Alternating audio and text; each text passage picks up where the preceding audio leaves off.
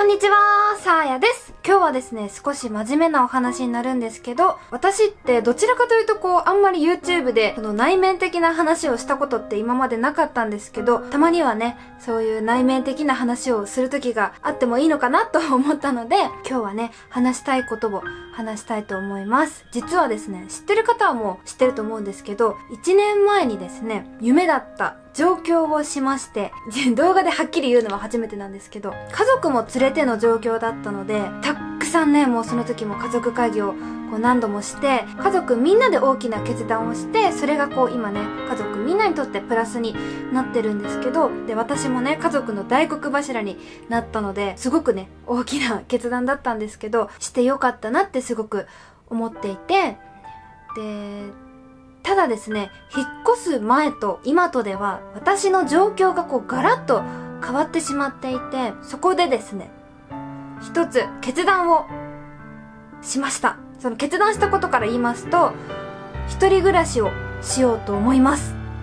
って言ってもまだ少し先にはなるんですけど。で、家族で上京したのになんで一人暮らしするんやって思う方もいると思うんですけど、一人暮らしをするっていう風に決めた理由が、私がこう YouTube を始めて、こう動画中心の生活にね、なっていて、バタバタすることもあるし、で、1年前よりも今の方がやっぱりその状況が変わってるってこともあって、ありがたいことに忙しくなったので、で、基本的にやっぱりこう YouTube って家でね、あの、お仕事をするじゃないですか。なので、こう私がね、起きて仕事をしてると、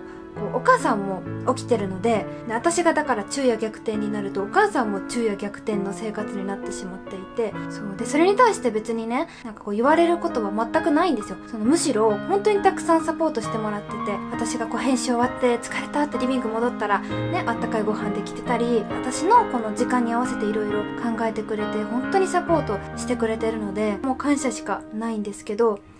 やっぱりその分お母さんの体も心配になるし何も言わないけど私的には頼りすぎちゃってるっていうか若くないので。そう体もねすごく心配だしっていうのもあって一人暮らしをした方がいいのかなっていうのが一つあって。であともう二つ目なんですけど今ね私この自分の部屋でね動画を撮って編集をしてっていうことをしてるんですけど自分の部屋がもう完全な仕事部屋になっていてずっとなんだろうな気張ってるじゃないけどなんかその自分の部屋なのに仕事部屋なのでリセットする場所がないんですよ。いつからかもう自分の部屋で寝ることができなくなっちゃって、まあ、そういう風に仕事部屋にしたのももちろん自分なんですけどこう一つのことをこの部屋だけでやろうって思うとやっぱりそれも少し限界があってなので、こう、一人暮らしをしたら、自分のプライベートのリセットできる空間もあって、しっかりこう、気張って仕事できる場所もこう、きっちりこう、分けることができるので、そういう面でも、一人暮らしをした方がいいのかなっていうふうに思って、で、あとは動画内でも、いつも、こう、殺風景なね、白い壁で撮ってて、まあ、たまにリビングで撮ったりもするけど、そのなんか生活感ってあんまりこう私の動画でないじゃないですか。だからそういうのもこういろいろ出せるんじゃないかって私の中でも今考えてていろんな面で動画に対しても生活に対しても家族にとってもプラスになるんじゃないかなっていうふうに考えてるので家族に私は頼りすぎてる部分があるんで大丈夫かなっていう不安はねすごくあるんですよ。うん。って言ってもまあ都内なのでね寂しいなと思ったらまあしょっちゅう帰れる距離なんですけどちょっと一人暮らしを本気でしようと今動いてます。で、それと、あともう一つ、非常にね、コメント欄でも多いリクエストの一つではあるんですけど、私自身も、もうやるって口で言ってから、ずっとやってないことがあって、まあいろいろあるんだけど、その一つが、ドレッサーの紹介。前の家に住んでた時にドレッサーを買って、で、ドレッサーの紹介をしたんですけど、その時に、一旦ちょっと今はこんな感じだけど、もっとこういろいろ変えていくから、その都度紹介するねって、まだ見せてない部分もあるから、また紹介するねっていう風に言って、で、それからもう何年経ってんやって感じなんですけど、さっきも言ったように、仕事部屋になってから、自分の、こう次こういう風にしたいなっていう風に思い描いてたことが、できなくなっっちゃって、何度もコメントしてくださる方、本当にすみません。やるやる詐欺をね、してしまっていたので、これは本当に申し訳ないなと思って、もうやるやる詐欺はしないので、一人暮らしをしたらね、整ってからしかできないですけど、そういう部分もね、いろいろ見せていきたいなと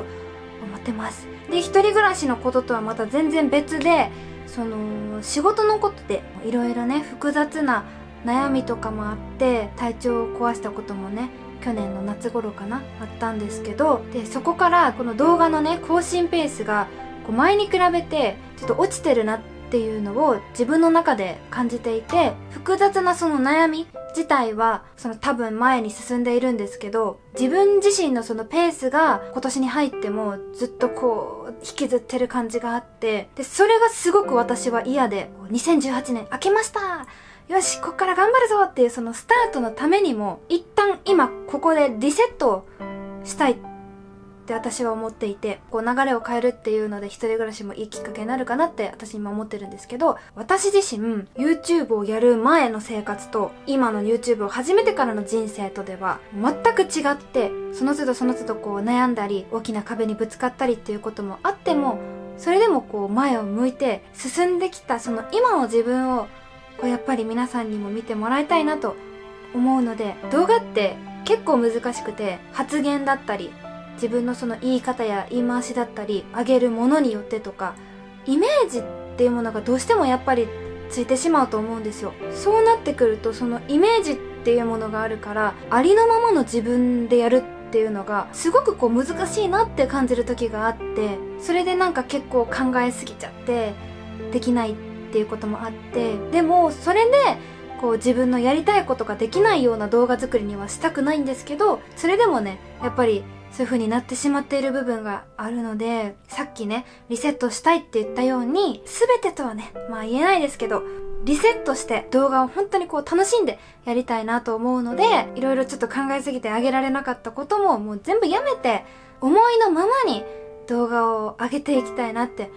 思います。その動画も上げずに、ツイッターにも現れずに、こいつ何しとんのやっていうね、ことがもう最近すごく多かったので、ツイッターでもね、いろいろリップいただくので、今ちょっといろいろリセットしたい時期なんですっていうことを、いつも動画をこうね、見てくださってる皆さんに伝えたかったので、今日はちょっとお話をしてみました。話そうって決めて、どういう風に話そうかっていうことをちょっと考えて、